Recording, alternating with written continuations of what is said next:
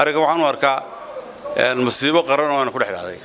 Laysmana saari karo oo marka saddexda xisbi ay soo baxaan ayuubaa doorashada madaxtooyada la qaban karaa haddii ay doonayu doonaya cabdisaaq inuu arrinkaa uu ka dhabeeyo. buu xaq lahaa inuu golaha ugu celiyo. Marka horeba xeerku wuxuu ahaa xeer laangaraa waa tahay daawadayaal iminka wax barbarkayga taagan xildhibaan hore maxamed jaamac oo ka mida mudanayaashii hore ee golaha wakiilada jamhuuriyadda somalilan xildhibaanku maadaama yahay xildhibaan waayaaraga oo mudano golo wakiille muddo dheer soo ahaa waxaanu halka ka weydiin doonaa arintan ka dhex taagan golaha wakiilada somalilan xildhibaane marka ugu horeysa arrinta saad u aragtaa bismi illahi raxmaan raxiim ariga waxaan u arkaa masiibo qaran oo aan ku dhex dhacday. Golaha sharaf sare ee maarata annagana bedele ee cusub.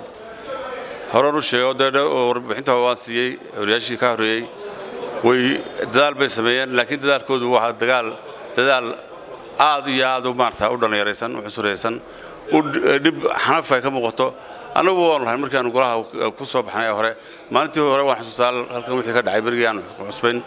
Dee way iyaguna way iska baran doonaan insha allah laakiin waxaan soo jeedin inay golaha dejiyaan golaha soo celiyaan turxaanta ka saaraan meel wanaagsan bay joogtaa. Hadda bilowe inaanu bilowgaas noqon mid buubaalo oo dhallinyarnimadu meel layna ka turto. Waa tahay xeer baa iminka la ansixiyey sida ay soddon xildhibaan. Lix iyo afartan kale oo mudanana dacwad bay ka gudbiyeen xeerkii guurtidu dib bay u soo celisay. Arrintaad u soo aragta xeerkaasi marka horeba xeer waxa weeyaan waa dabakeeri buu ahaa. Xeer goluhu u dhan yahay muu ahayn xeer yacniga nidaamkiisu sharciyadiisu waafaqsan yahayna maaha. Sababtoo ah istisaarka labada xeer ee la istaaray ee doorashooyinka ururada iyo maarata madaxtooyada laba isfuuli kara maaha.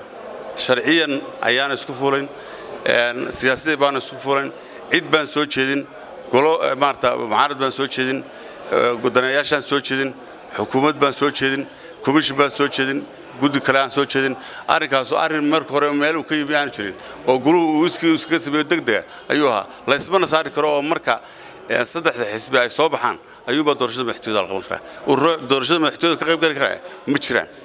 Maadaama tahay xildhibaan waayaaraga oo mudano golo wakiille muddo dheer soo ahaa waaye aragna aad tahay.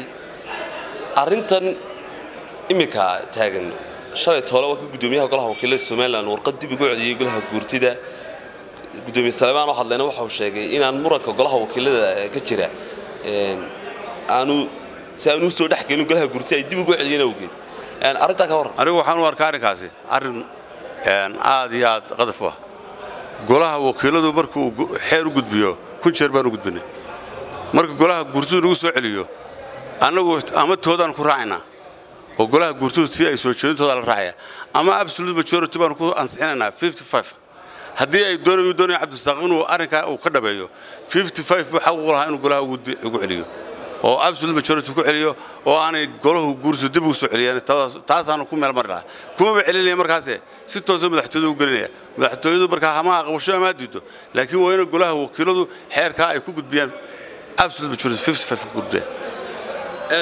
Laakiin waxaan ku leeyahayba marka horeba xeerku wuxuu ahaa xeer laangaraa haddii golaha guurtu soo celiyey dee waxay ahayd in golihii waa lasu celinaya in golahu ay shiraan oo dib dambe ama ay ugu celiyaan oo meel mariyaan.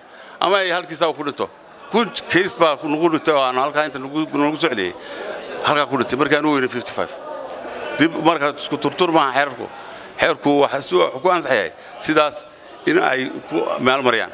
Way xildhibaanada mucaaradka golaha wakiilada waxay ku doodayeen inaan wax xeeriiba doorashadan ururada aanu u jirin.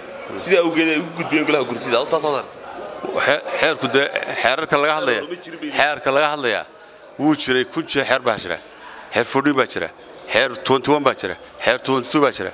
Xeerkii maxkamadda hore golaha aanu kaga tagnay ee madaxweynuhu soo celiyey ayaa laga rabay golahu inay ansixiyaan oo wax ka bedelaan maanta taasaa u tiilee mid kaleba uma ooleynba tanna gacan kuriibaskaa la wadado meesha maba yaallaba. Xeerkii hore wuu yidhi amadba buu baahnaa wixii laga xeerka marka la doonayo xeerka in amadba lagu sameeyo. Waa ka goonin xeer. Xeerka yacni istisaarka golayaasha maarkay ururada madaxtooyadu meesha maba jiraba lamana soo geli karaba. Waay xildhibaan waaye aragaa tahay mudane.